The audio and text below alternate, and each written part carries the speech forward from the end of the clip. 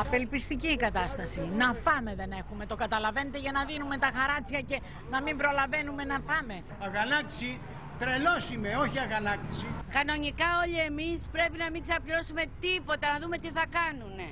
Αγαναχτίσαμε, δεν έχουμε να φάμε. Στην ουρά, έξω από τα υποκαταστήματα της ΔΕΗ, οι καταναλωτές ξεσπούν. Δεν αντέχουν να πληρώνουν άλλα χαράτσια, λένε. Και για το 2013 πάντως, η ίσπραξη του ειδικού φόρου ακινήτων θα γίνεται μέσω των λογαριασμών της ΔΕΗ και μάλιστα από ό,τι φαίνεται θα δοθεί σε πέντε δόσεις αντί των τεσσάρων που ζητούσε η Τρόικα. 4 και 14 και 24. Μόνο να τα παίρνουν να ξέρουν, τίποτα άλλο.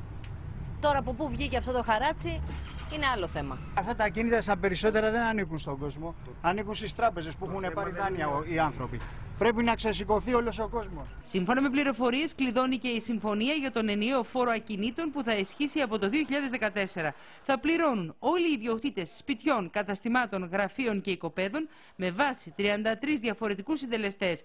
Μεταξύ άλλων θα υπολογίζεται η τιμή ζώνης, η παλαιότητα, ο όροφος, ο αριθμός των προσώψεων και η εμπορικότητα του δρόμου όπου βρίσκεται το ακίνητο. Να έρθουν εκεί να τα πληρώσουν. Όταν εγώ έχω πέντε ρολόγια, τι θα κάνω; Δεν θα τους τα πληρώσω. πληρώνουμε, αλλά μέχρι πότε; Αφού δεν ξυπνάμε, καλά μας κάνουν.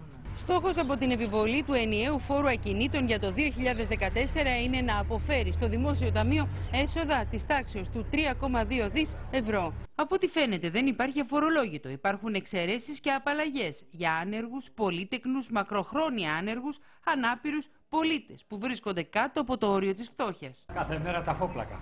Το χέρι στην τσέπη το έχουμε συνέχεια. Το νομοσχέδιο πάντως για τη φορολογία κινήτων είναι προαπαιτούμενο για τη δόση. Τις επόμενες ημέρες αναμένεται οριστική συμφωνία με την Τρόικα, ώστε μέχρι τις 15 Ιουλίου να πάρει το δρόμο για τη Βουλή. Όλα αυτά που γίνονται αυτή τη στιγμή είναι για την καταστροφή του ελληνικού λαού. Την ίδια ώρα οι ουρές έξω από τα υποκαταστήματα της ΔΕΗ φτάνουν το 1 τετράγωνο. Μπορεί να είναι δύο του μήνα, αλλά πολλοί από τους ανθρώπους που βλέπετε να περιμένουν στην ουρά ήρθαν για να πληρώσουν λογαριασμούς με δανεικά, με χρήματα που συγκέντρωσαν από φίλους και συγγενείς. 239.